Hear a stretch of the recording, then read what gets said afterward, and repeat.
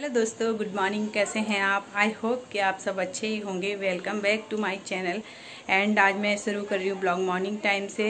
और आज मैं ब्रेकफास्ट में बनाने वाली हूँ पिज़्ज़ा और जो बच्चों ने आज बोला है तो मैं बनाऊँगी। और आपके साथ शेयर करूँगी। तो बने रहिए मेरे साथ। तब तक आ, मैंने एक छोटा सा फ्लैग यहाँ पर लगाया है क्योंकि मुझे बड़ा नहीं मिला। तो इसलिए मैंने छोटा ही लगा दिया। आप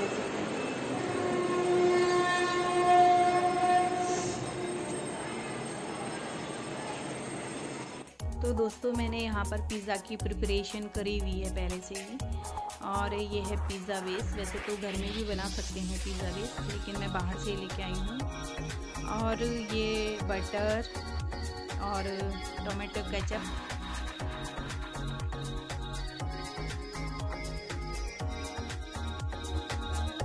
और अभी मैंने पिज़्ज़ा बेस ले लिया है और उसमें मैंने पहले बटर लगाया थोड़ा सा उसके बाद मैं अभी इसमें टोमेटो केचप लगा रही हूँ। और इसको अच्छे से मैंने फैला दिया है।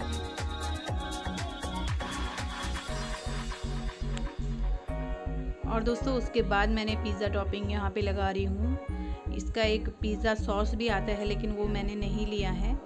मैंने पिज़्ज़ा टॉपिंग ही इसमें यूज़ किया है। और अभी जो मैंने इंग्रेडिएंट्स जो रखे हुए थे प्रिपरेशन के टाइम पे तो वो मैं अभी यहाँ पर रख रही हूँ। तो इस तरीके से दोस्तों रख रही हूँ ताकि वो पिज़्ज़ा बेस में चारों तरफ़ से कवर हो जाए।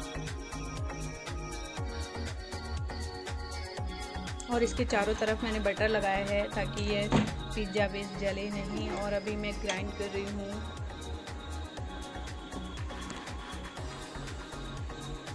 बटर इसमें ऊपर से।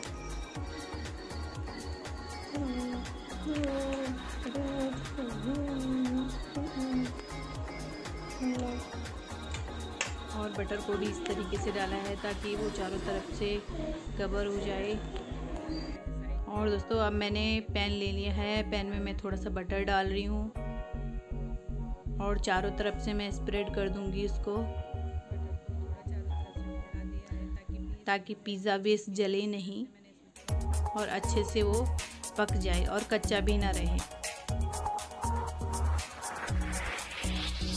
तो इस तरीके से मैंने इसको कवर किया हुआ है बटर को।